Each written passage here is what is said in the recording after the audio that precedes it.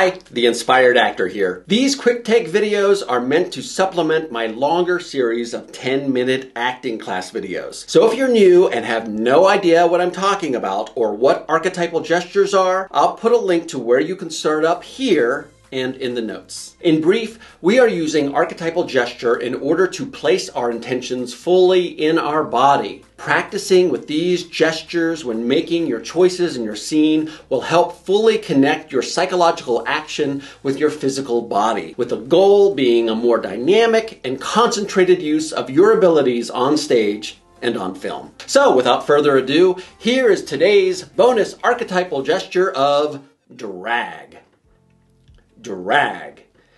Begin in a neutral stance. Feet shoulder width apart, arms at your side, chest open and radiating.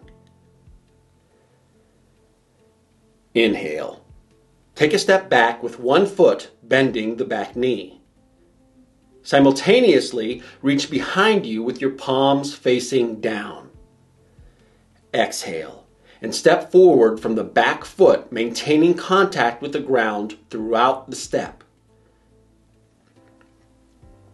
While moving forward, imagine grabbing something with your fists and dragging it behind you. Remember to keep the focus of your energy on your ideal artistic center throughout the movement. While maintaining this position, radiate the feeling of the gesture with your full, concentrated energy. Once you sense the gesture is at an end, return to neutral. Do not rush the ending of the gesture or let it continue after you feel it has concluded.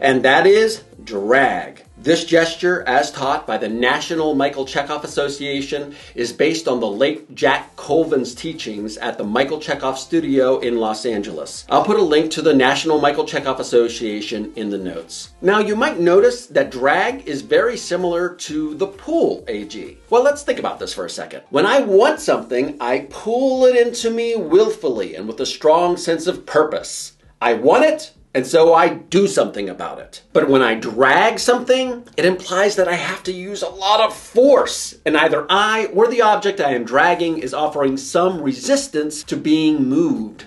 So the resisting force is one of the elemental differences in this gesture. It implies that I perhaps am bringing something into me reluctantly, or that the object or person or goal is offering resistance to being brought closer. Additionally, the energy of the gesture lies fully in my backspace. What lies in our backspace? Our baggage. So think of it this way we drag our physical baggage behind us when we are going on a trip. In this case, the trip is whatever the script is calling for, and our baggage can be our emotional baggage or something that we reluctantly must take with us in order to have a successful adventure. There is a lot you can do with this gesture in that context, so try it out and tell me what happened for you in the comments. As always, when doing these gestures and actions, please remember your feeling of ease and your feeling of form. See you later, colleagues.